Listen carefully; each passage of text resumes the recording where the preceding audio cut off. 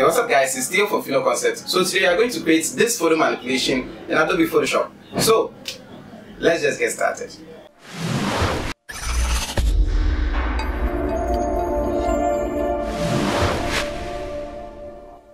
Welcome to Pheno Concept. Click the subscribe button and hit the bell icon so you don't miss out on any of our future videos.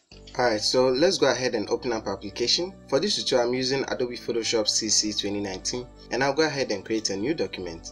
Now this time around, I'm going to select a custom image size. So I'll go with 256 by 1440. So the width is going to be 2560 and the height is going to be 1440. Resolution, I'll still leave it at 300 and click on create.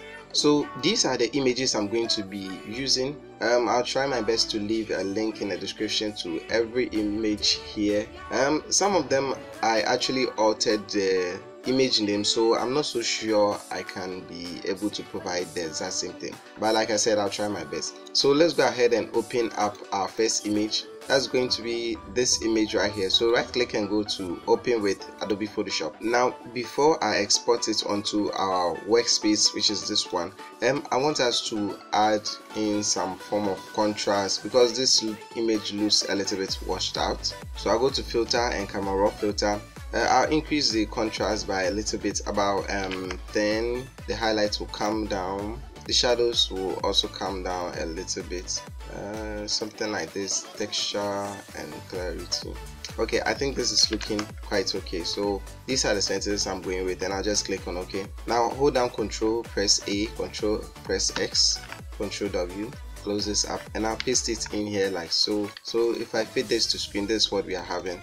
Now I should have probably crop up the image before even importing here. So I'll just grab the quick selection tool and I'll create a selection around my subjects like so I can use the left and right bracket keys to increase or decrease the size of our quick selection tool respectively. Now if I wanted a precise selection I would have used the pen tool instead. But this isn't going to be important because um, we are not going to be using that much detail for this work. So i'm not even interested in the hair area because it's just going to be covered up with rocks. Alright so if i fit this screen again if i go back to my quick selection tool i can just right click and go to layer via copy and i'm going ahead to just delete the one beneath. So this is what i have. Now let's hide this layer for a second and import our second image. So that's going to be the image of the sea and the one i'm going for is actually somewhere around here. Yeah this is it. So i'll import this into my work and click and drag it to the top like so. Now i'm going to right click and go to rasterize layer to make this a raster layer. And again I'll just use the quick selection tool to create a selection around the top. I want to be able to replace the clouds with my own. So that's what I'm going to just select so once I have uh, something like this uh, I'll just hit delete on my keyboard to delete it out. Um, you can also create a layer mask. I actually recommend you create a layer mask and invert it using Ctrl I because at some point you might need certain details. Deleting it is just going to remove it entirely. So um, let's just create a group for this first of all uncheck the lock icon. So I'll highlight these two control G and I'll just call it um, let's say background. And I'll again rename this. Probably let's call it sea so that I can be able to work around my way. Right. Now we have this on top of the sea. So what I'm going to do is grab the move tool click on one side or hold down control press T to bring up the transform options. You know the transform options are active if you see these three icons at the top. So I'll just right click and go to flip vertical. So this is what I have and I'll just place it somewhere around here. I can also alter the shape and size. I think somewhere around here should be just fine. Now with that done, we also need our island. So I think I have something here I can use so this is the image I'm going to be using for that. So again right click to Adobe Photoshop and I'll just use the quick selection tool again. I'll create a rough selection around this area like so. Now you can see over here we have the bridge. So I'm just going to be selecting this area. I'll explain to you in a few seconds. Again right click go to layer via copy. If I go ahead and delete this up and now I can just use the move tool to highlight this uh, Ctrl J to duplicate and control T to bring up the transform options I can just right click and go to flip horizontal and I'll place this right next to each other. So I have something like this to work with. Um, I can pretty much just right click and merge them up because I have both of them selected and I'll bring this also in my workspace like so. Now this is too huge so I have to reduce the size to uh, something like this should be just fine or probably re reduce it a little bit more. I think I have to bring up this so that I can see how big I want the size to be. So it appears it has to be even much smaller. So I think something like this should be just fine. And I'll just zoom in just a little bit use my move tool to bring it somewhere around here. It shouldn't be directly on the water so a little bit inwards should be just fine. Now once I've done that uh, let's group this up control G and call this um, island. So for the island let me just copy and paste this here. I'm going to create a new layer on top. Let's call this um, shadow up I say shadow up because I'm going to be painting on top. And I'll call this shadow down. So I'll have the shadow down just beneath the island I'll press B on my keyboard for the brush tool which is right here. Make sure that my foreground color is set to black and brush in. Currently my size is set to about 80 let's change it to about 50 and I'll just brush the bottom here like so. Um, if it is extending I can just use the eraser tool which is E on my keyboard and just brush somewhere like this. This should be fine. Now let me again turn this off and I'll go to shadow up I'll do the exact same thing. But this time around it's going to be on top of my layer. Then again I'll just brush over like so. So once I have that I'll just reduce the opacity of the shadow up to about 50 or 30 percent. Let's go with 50 for this so that that part looks a little bit darkened up for the shadow down um, about 80 percent should be okay. And I can even use the move tool to just um, alter the shape. So once my transform options are up I'll just click on this icon for the warp. And I'll just make it look like this. So I think this is a pretty good start for that. Now I can bring back the image I have here. I, I, I still don't have a name for this. Um let's just go on. Probably it will come to me once we are editing now there's something you have to keep doing. You have to keep saving your work over and over again. So um, I'll just call this island for now. Alright. Now let's create a group for that also. And let's call it uh, bottom. I don't know. Let's just call it bottom island. So if I fit this to screen I'll go ahead and import the rest of my images. So I actually need rocks to be on top of that image. So let's just go ahead and um, select this image open it up in Photoshop. And again I'll just use the quick selection tool to just select uh, some rocky areas like this. Right click go to layer via copy or layer via cut. Either way should work just fine. And I'll import that also onto my work like so. Reduce the size to about this big and I'll paste it here. So um, let's just go ahead and delete these two. I don't need them anymore so once they are on top let me zoom in a little bit. Um, I'm just going to be playing around the sizes. So for the first one I'll just place it somewhere around here. Um, right click and go to create clipping mask. So this is going to be merged on top of this image I have at the bottom.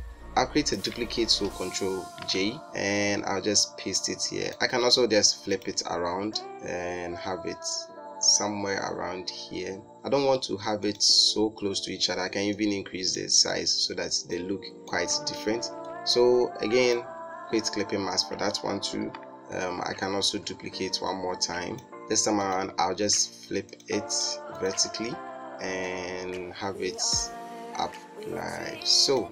Let's do that one more time. Um, flip this horizontally.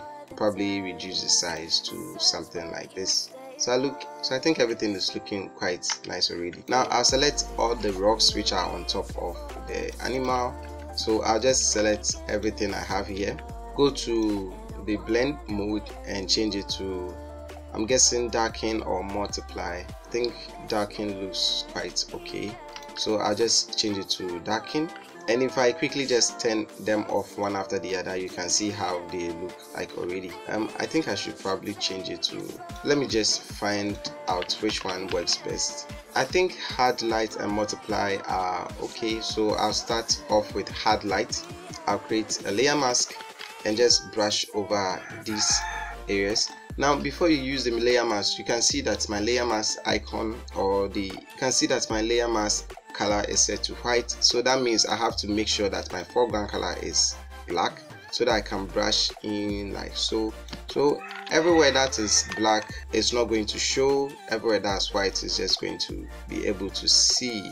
So black is to hide and white is to reveal so again I'll just turn this back on. And I think darken for this is okay. I'll click on add layer mask. And I'll just brush over these areas like so I'll do the exact same thing for this and probably change it to a different blend mode so probably hard light for this also. Try to reposition it to probably somewhere around here. I grab the brush tool again with the layer mask selected. I'll just brush in over like so. Then I'll select the last one which is somewhere around here. Hit a layer mask and just try to conceal those um, uneven edges. Now anytime you make a mistake you can just hit X on your keyboard to flip out the colors and just continue manipulating it like that. So if I fit this to screen this is what I have. Again I'll just hit Ctrl S to save my work. And this is starting to look quite awesome already. So give me a minute to hide these two. Um, there was something I was supposed to create for the sea I forgot about that. So let's just do that um, grab the lasso tool and create a selection like so on top of the sea. It doesn't have to be perfect but just make sure that it is on it. Like this right click and go to copy or layer via copy. So we have a copy of that. And that is going to be on top of everything.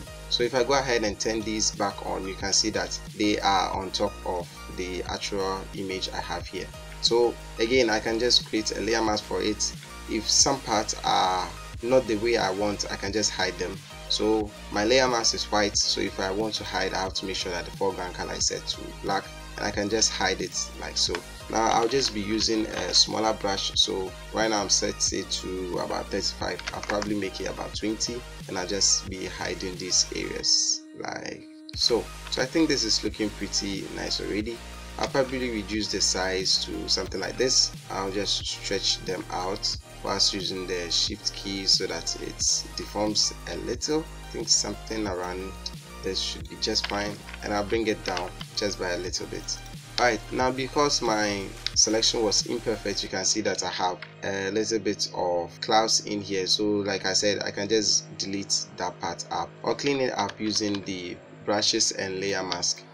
So I think somewhere around here should be. Any part apart from here is okay.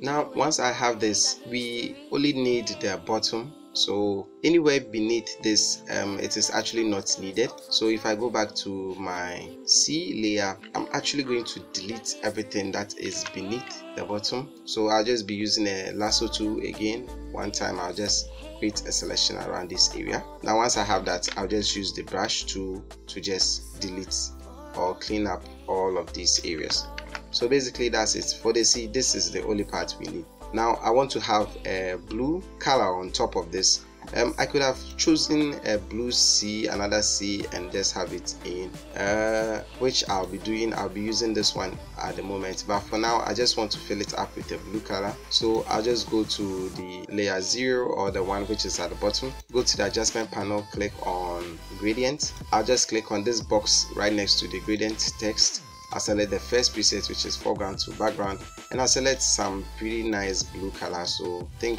if I sample from here that'll be good. And for the second one I'll do the exact same thing. So a much darker blue. Okay now that is looking pretty nice. Um, I can also just alter how it looks. I'll probably just reverse it so that the darker portion will be somewhere around here. Now once I do that I'll just right click and go to rasterize layer and I'll just use the move tool to resize it to something like this. Now I could have just also just selected this area and used that one if I wanted. But I think this is okay for what I'm doing. So like I said I'll just pause this image here resize it to something like this and I'll have it over here like so. Let's have the first one in like this and I'll just create a duplicate of it. So control J so control J and I'll just paste this over here. So for this I'll make it quite large and I'll explain why in a couple of seconds. I actually don't want this white to be fading in into the other ones like that. So I'll highlight both of these and rasterize them up. Again for the bigger one I'll just have it have it hovering around here like this. Now if you are very good at creating layer masks then photo manipulation is going to be a lot easier for you. So I just brush over these areas I don't need. Again I create a layer mask for the one on the right. I'll just brush over these areas. Like so and I'll create a layer mask for the center piece and just brush over like so. So if you take a look at this uh, for some reason um, it is fading over to the edges. So I just clean them up using the brush tool and layer mask. And I'll do probably the exact same thing for this. At some point you are unable to see what you are doing or there's an effect affecting a particular place and you can see. Just toggle off the icons using or the images using these eyeballs and you'll be able to find out which one is actually causing that problem. So now that I have that um, I think I'll create I think I'll darken up this image a little bit. So hold down control and click on the thumbnail. You see that the cursor changes to this icon with a square around it. And once you do that you can just click on it and create a selection like so. I go to the adjustment panel and click on curves. And I'm just going to bring the dark portions down like so. Probably reduce or increase the highlights just by a little bit. Now you don't have to do this. I just find it uh, easier and probably I'll reduce the opacity or just making it darker like so. Okay so this is looking cool already. We are still not done. And um, for the background I'll go back to that. Let's highlight the whole of this control G to group them up and let's call this sea. So we have to fill up all those white spaces with clouds. And the clouds I'm not finding something. Okay I think I can start with this. So I'll paste this in like so reduce the size to something like this right click go to rasterize layer control G let's just call these um, clouds. I prefer having them beneath the sea so that um, everything is going to be at the back of the sea layer. So for this, I think that is looking okay. I can just pretty much duplicate that and they should look okay. So Control J to duplicate. This time around, I'll make it huge rather than having it smaller like what I had previously. Now for this, I'll rather bring it down so that um, they look quite different. I can also just flip this horizontally so that they look different from each other. Now again, create layer mask, increase the size to about 500 pixel and just brush over like so. Um, I'll select this one to create a layer mask, brush over like so. I'll probably reduce the size to about 20 and change the I want to be able to reveal certain portions probably around here. And I think this is looking cool. We just filled up the entire space. Now if you take a look here, we can see that the color profile or the color temperature of this is so different from that. Now I'm actually going to just take this away so that it doesn't distract us from the main way So I'll go back to the background, I'll go back to the sea where we have that. I'll just grab the brush tool and I'll just brush it over like so just hide all those um, trees in there. And I'll move over to the other side and do the exact same thing. Now for this area I'll just review a little bit um, reduce the size to about 20 pixel. Alright now this place is fading in. So I'll just select the image itself. I'll go to um, healing brush tool. Um, I'll alt click to sample this area and I'm just going to fill that area with the sample I have here. So something like this right now that is filled up. Then go ahead and pretty much save this work. Right so now that we have our sea we want to fill up that area with some dark portions. So since my foreground color is set to black already I can just go into sea profile where we have the gradient fill which is this blue color filling up that area. I can have it on top like so go to the adjustment panel click on gradient and just select the first preset or the second preset which is foreground to transparent and make sure that it is set to black. Now i can pretty much just position it the way i want. So i want to have it something like this. This for the first part I just click on OK. I should probably just have it on top of all of these, on top of all of these so that it affects the image I have here too. Now I'm going to create another one. This time around I'm not going to make the star linear. I'm actually going to make it radial and you can see this is what I have here. I'll just bring it somewhere around here. Then I will reverse it. So it's going to look like this and I just have it here like so. Now for the radial I'm just going to be having it in the background so that it affects just the sea. So again, position it in the sea. Alright, so this is what we have or this is what we are working with. I should have this at the bottom so that it affects that also. So I can have another layer on top, make sure that the foreground color is set to black and I'll just be brushing in some areas making them much darker like areas around here. So let me increase the size of the brush this entire area then I'll just reduce the opacity to about 50 right here. Now the texture of the image is um, not corresponding with what I have here. So um, let's go back to the island bottom where the image itself is. Uh, I should probably just change the name to this so that it makes it a lot easier to find. So if I go ahead and just toggle this off you can see that these are what we have been working with so far. What? Let me just turn everything off and look at how it is so this is what we have previously this is what we have now. Um if i go ahead and create a duplicate and probably change the blend mode to something quite different let's see how that looks.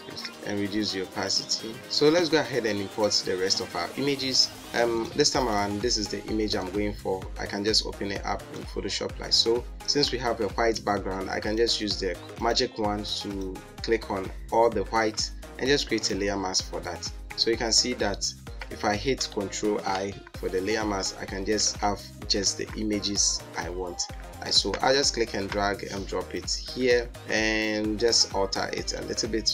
Um, right click and go to apply layer mask. So I'll just again use the lasso tool. I'll just create a selection like this. Right click go to layer via cut and I'll move this somewhere around here. Go back to the original image create a selection like this right click go to layer via cut paste this also here. Again go back to the original image layer via cut and I'll just be making this smaller make this smaller also because their beds they are not supposed to be that huge this smaller and make this smaller also.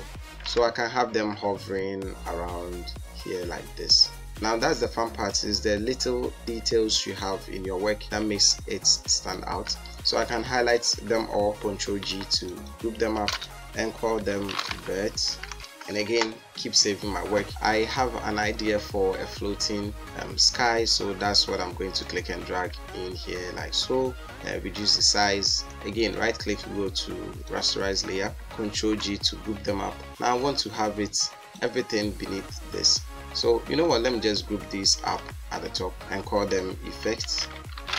For the floating sky I'll have one at the extreme corner here. I'll create a duplicate and have the second one um, somewhere around here. This time around I'll make it much smaller. And I'll have another one somewhere around here so small that you can hardly see. Now this this one is so close to the camera so we have to apply a blur effect to it so I go to filter click on blur go to Gaussian blur.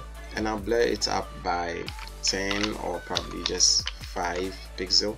Click on ok. Go to this second one. I'll blur this up by about 3 pixel or probably 2 and just have it hovering around here like so. Now they look too identical so what I'll do is um, for this one the one on the left I'll just flip this horizontally and probably hide a little bit of it as well so that I can have some form of difference or yeah difference between them. So again click and drag our shark in here. Have it somewhere around here. Make it much smaller. Click on ok and I'll have it like so. Let's give a name for that. So let's call it um, floating sky.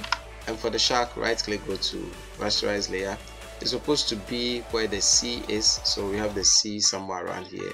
I just click and drag it and drop it here. So if I zoom in just a little bit um, if you have a perfect eye actually I've probably just created um, a selection around it before even resizing it. That way it makes it much simpler. So what i'm going to do is i'm ju just going to be using the brush tool to brush out the part i don't need. So again foreground color set to white and I'll just brush over the areas I don't need like so. Now this is going to be almost invisible. Now let me just create a selection around it. So for this I'm just using the polygonal lasso tool. Um, I'm using that because my selection is not going to be as perfect as I want it. And I don't mind the image is so small that is going to be almost unnoticeable. You should probably use the pen tool for this. But like I said my image is so small that um, I don't think anyone is going to be zooming in to find the imperfections I have here. Alright now now that I have my selection let's go ahead and delete the layer mask. I can just click on the layer mask icon and it's going to affect it like so. Now you can see that um, the animal is looking to brighten up. So I'll apply the layer mask hold down control click on the thumbnail to create a selection go to effect click on curves and I'll reduce the darkness or the darkened parts by as much. So if I look at it um, this is before this is after. This is now looking much. This makes it a lot easier when I'm identifying my work later on. Right so this is what we are doing so far. Let me have the shark somewhere around here. Now let's see if there are a few things we can still add in. Now let me try using this also for the picture we have here. Right click go to layer via copy. Let's see how that also turns out for this. Um, let me just quickly um, delete or close these images up. So I'll send this to the hippopotamus. And let me just turn this off for now and create a layer mask or a clipping mask actually sorry. Right click go to create clipping mask and just have it on it like so flip this vertically i'm just trying to see if this one works much better as compared to what i had previously alright so for some reason i think this one works much better but i'm still going to turn the other ones on and just group them up for just a second so I can work between before and after. I think this one works much better because it has these green edges so I think I'm just going to be using this uh, this one instead. So I'll have it somewhere around here. And I'm basically just going to be doing the exact same thing I did previously. So just duplicating resizing and also altering how the shape looks like. I should just flip this vertically. And just resize it. About this big should be just fine. Now select all three and just create marks for all of them. So this is what i have um, between this and that. Honestly i don't know which one works best. So i'll just use both of them and i'll make the opacity of the second one about 50 percent for all of them or probably just 30 percent for all of them. So in there i'll create another layer. This time around i'll have it beneath the image and i'll call this shadow down and use the brush to make sure that it is set to black. Increase the size to a lot like 1000 pixel and just brush oops i think 1000 is a little bit too huge so let's make it 500 and just brush over the back like so. And like i said previously in case it is moving away from where you want you can just use the eraser to to clean them up so the opacity i'm just going to have it um, so small probably um, 20 and i'll have another one on top. So that's going to be shadow up. Again the brush tool is selected. And this amount I'll just reduce the size to about 50 pixel and just brush or let's let's make it 100 instead. Over the edges of my shape like this. So I'll just have it on top of the entire image. Just trying to darken everything up a little bit. Let's start from 10 I think 10 looks pretty okay. Now I'm pretty confident with what we have but the bottom is still too blue. I actually want to have them as dark as possible. So I'll just create a new layer or a new gradient fill on top of the darken images so I have it somewhere around here. Now I'm going to have it at the bottom or in between. So the gradient fill is going to be here and I'll just have it in here like so just to make the bottom much darker. I think somewhere around here should be just fine and I'll click on OK now you can see that this is affecting our entire clouds. I don't want that so I'll select the layer mask for the gradient fill and I'll just brush it out like so so that it's just affecting the bottom X on my keyboard to flip up the colors and I'll just do something like this for all of that. So this is looking much nicer but again too dark probably about 50% is okay. So in this effects group um, that's basically what i'm going to be doing so i'll go back to the gradient fill i'll create another gradient. For this one i want it to affect the entire images. So i'll just click on ok and set the size to or the opacity to about 50 percent and create another gradient. This time around is going to be a radial style reverse it. Increase the size or the scale to 1000 percent. Click on ok and reduce the opacity to about 30 or yeah let's try 30 and that is looking pretty okay. Now um, there are a few flares I want to add in so I'll create a new layer call this um, screen. Select an orange color like I don't know something like this CB8518 and click on OK grab the brush tool just click on it one time to see how big it is so I think right around 800 okay this looks okay. And I'll change the font sorry the blend mode to screen. So over a screen I can just change the size to the way I want it. So I'll place the first one somewhere around here. Duplicate that control J. I'll place the second one somewhere around here and make it much bigger or probably just even stretch it out like so. Let's try to make it uneven as possible then I can have the third one somewhere around here. Now this is what this is looking like. I'll add in the last one which is a gradient fill. So go to gradient. This time around I'll just select the first preset and change the second color to blue. So orange at the top blue at the bottom. Unfortunately that's not what I'm getting here. So I'll just reverse it and make it look something like this. And once I've done that I'll just change um, the blend modes to whatever I think suits the current work. So I just hover through and see which one is working for this. Alright so pin lights looks awesome. Hard light looks great.